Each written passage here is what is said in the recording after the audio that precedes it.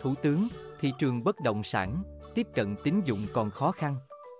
Theo Thủ tướng Phạm Minh Chính, năm tháng qua, kinh tế vĩ mô cơ bản ổn định, lạm phát được kiểm soát, các cân đối lớn được bảo đảm.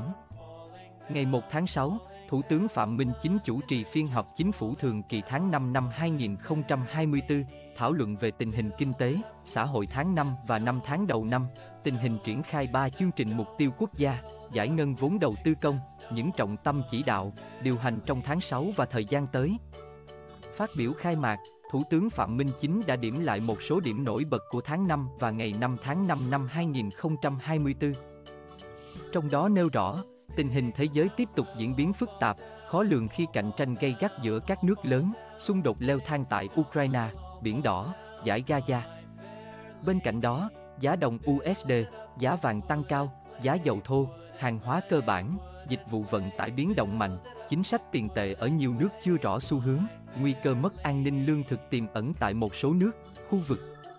Ở trong nước, lãnh đạo chính phủ nêu rõ thời cơ, thuận lợi và khó khăn, thách thức đang xen, nhưng khó khăn, thách thức nhiều hơn. Thủ tướng đánh giá trong bối cảnh đó, nhờ sự vào cuộc quyết liệt của cả hệ thống chính trị, tình hình kinh tế, xã hội tháng 5 tiếp tục xu hướng tích cực, đạt kết quả tốt hơn tháng 4, tính chung 5 tháng tốt hơn cùng kỳ trên hầu hết các lĩnh vực. Người đứng đầu chính phủ nêu một số điểm sáng như công tác chỉ đạo điều hành về cơ bản chủ động, linh hoạt, phù hợp, quyết liệt, sát thực tiễn. Tăng trưởng được thúc đẩy ở cả ba khu vực công nghiệp, nông nghiệp, dịch vụ.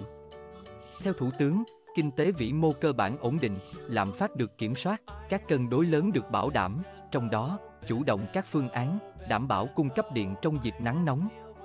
Các dự án hạ tầng chiến lược giao thông, năng lượng được thúc đẩy mạnh. Bên cạnh kết quả đạt được, Thủ tướng đã thẳng thắn nhìn chỉ rõ những khó khăn khi sức ép làm phát, tỷ giá còn cao, thị trường bất động sản, tiếp cận tín dụng khó khăn. Theo Thủ tướng, việc phản ứng chính sách ở một số nơi chưa kịp thời, kỷ luật, kỷ cương có nơi, có lúc chưa nghiêm.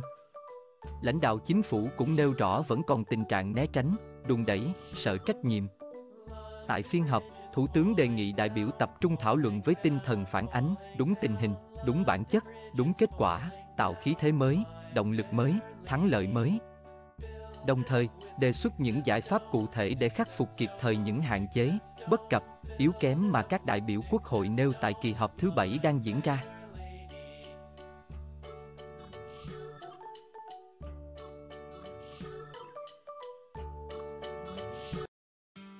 Cảm ơn các bạn đã theo dõi video.